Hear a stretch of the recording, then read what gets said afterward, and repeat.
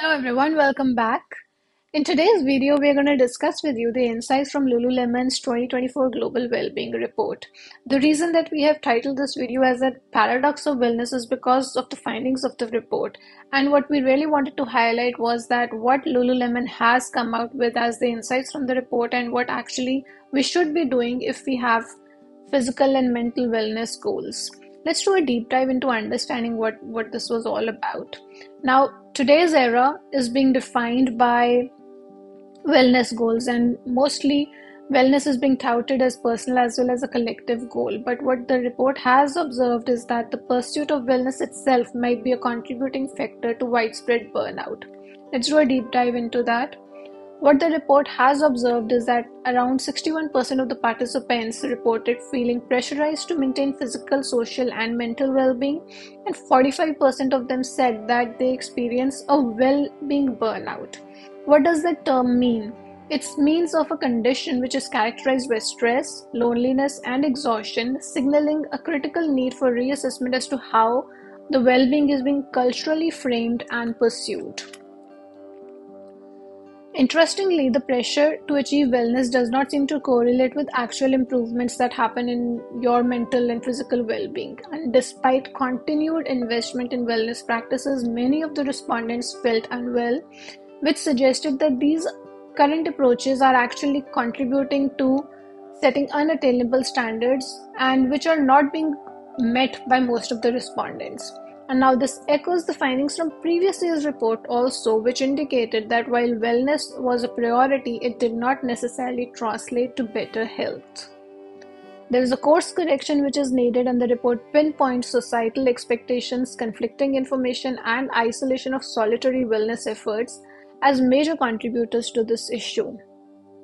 In response, Lululemon offers several strategies to counteract these pressures advocating for more authentic, individualized, as well as community focused wellness practices. The suggestions include quietening the noise to better listen to one's own needs, engaging in enjoyable personal activities, and inviting others to join in your wellness journey to foster a sense of community and a shared experience. So, this is basically a three pronged approach which Lululemon's report is suggesting. Within the course correction, the report also identifies group fitness and community involvement as factors that enhance the overall well being. Now, that's all that we wanted to share with you in this video.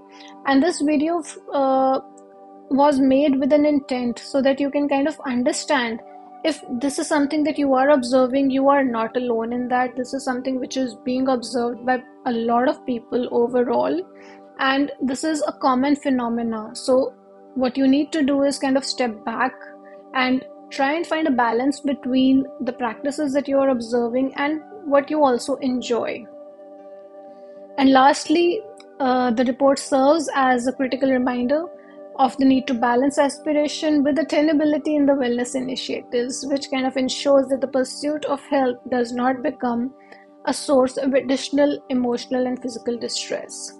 I hope you've enjoyed this video. This is something which I would love for us to have an open channel of communication about. If this is something that you want to focus on, or if this is something that you want additional information on, I would love to do another video on this, highlighting as to what not just the report suggests, but actually maybe we can talk to a psychologist regarding this do let me know if that is something that does interest you in the comments section and we can do uh, a series of videos on this. So for now that's all that we have for you in this video. Do stay tuned in. And if you want to read more about this and other uh, things that i keep discussing go to pallavisehgal.com and you can read about all that in detail. Uh, that's all that i have for you in this video. Uh, do stay tuned in for more. Thank you